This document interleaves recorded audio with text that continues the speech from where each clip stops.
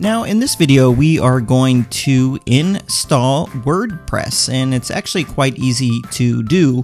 Now we are still logged into cPanel which is the web hosting control panel.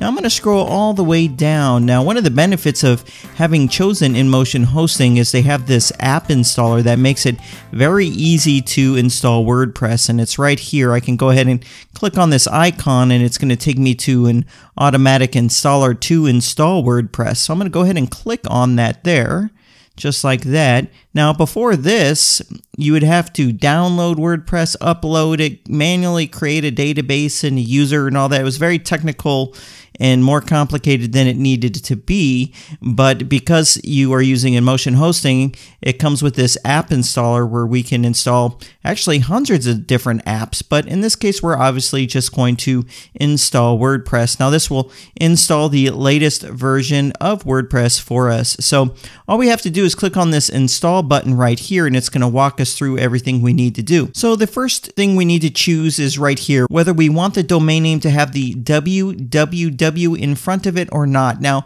my personal preference is to have the www just like that. So I always go that route. And there's some technical reasons why that could make things easier down the road for you. So I personally like to have the www in my domain name just like that. And right here you would choose the domain name. Now obviously we only have one in this account, but if you had multiple domain names on your hosting account, you could use this drop down to choose which domain name that you wanted to install WordPress on. So we're going to scroll down. You could put your site name right now and site description right now, but we're going to do that in a later video, so we could just leave those the way that they are.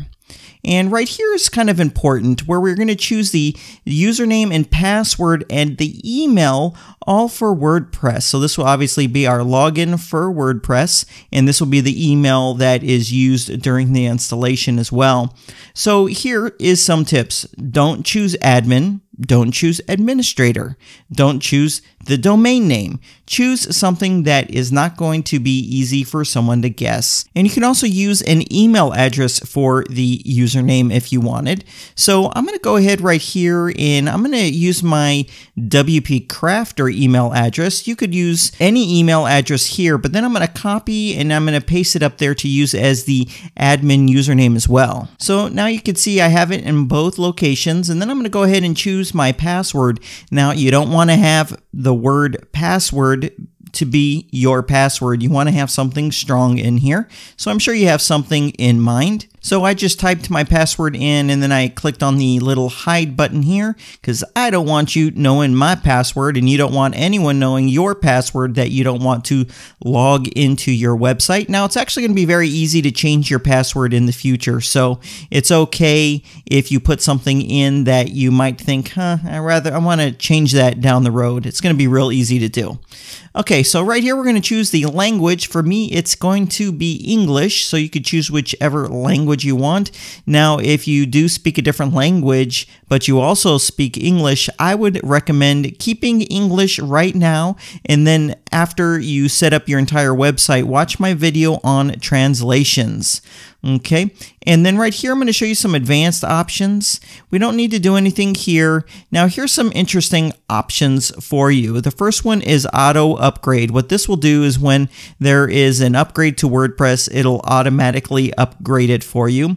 The next option is to automatically upgrade your plugins, and the next option is to automatically upgrade your themes. Now, right now, you need to make a decision for you. Are you the type of person that's going to log into your website to make sure everything's up to date.